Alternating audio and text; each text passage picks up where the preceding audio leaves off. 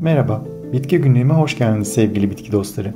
Bitkilerin dünyasına yaptığımız bu yolculukta her gün yeni bitkilerle tanışabilir, onların pek fazla bilinmeyen hikayelerini benden dinleyebilirsiniz. Dilerseniz hemen yeni bir bitkiyle daha tanışalım.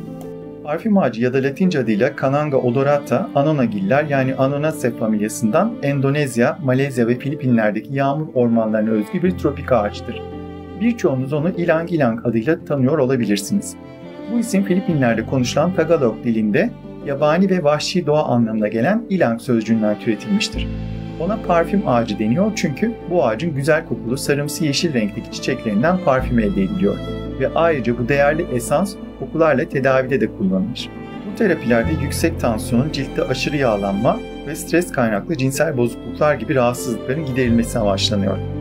Hatta benim de çok sevdiğim efsanevi Hollywood yıldızı Marilyn Monroe'nun bir zamanlar o olmadan asla yatağa girmem dediği Chanel No. 5 adlı parfümde de parfüm ağacı esansı kullanılıyormuş. Koku doğadaki bitkilerin çeşitli amaçlarla kullandığı bir özelliktir. Kimi zaman bitkiler çiçeklerinden yaydıkları güzel kokularla tozlaşma yapabilmek için böcekleri kendilerine çekerken, kimi zaman da kötü kokularla zararları kendilerine uzak tutabilirler. Bitkiler kokular aracılığıyla diğer canlılar ve bitkilerle de haberleşebilirler.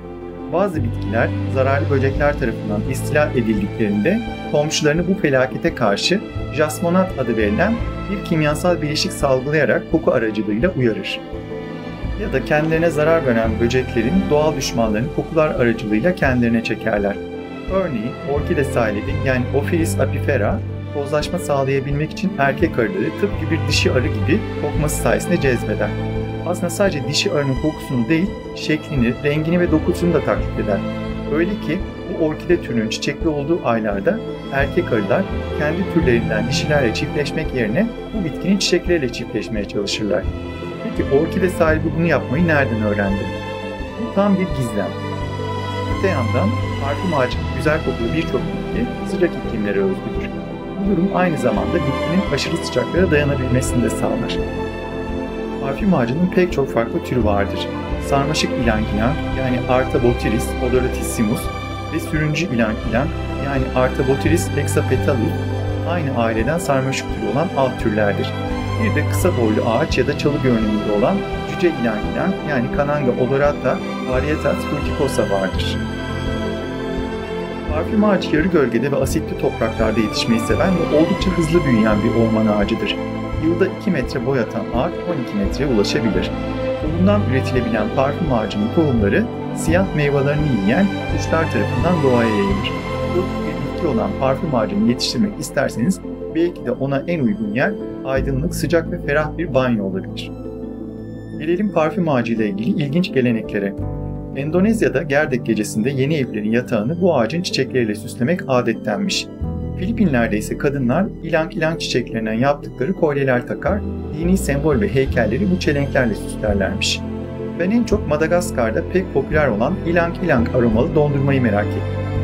Bu videoyu da Filipinler'den bir hikayeyle bitirelim. Tanrıçalar ormanda dolaşıp hangi ağacın çiçekli olması gerektiğini belirleyerek onlara uygun çiçekler verirlermiş.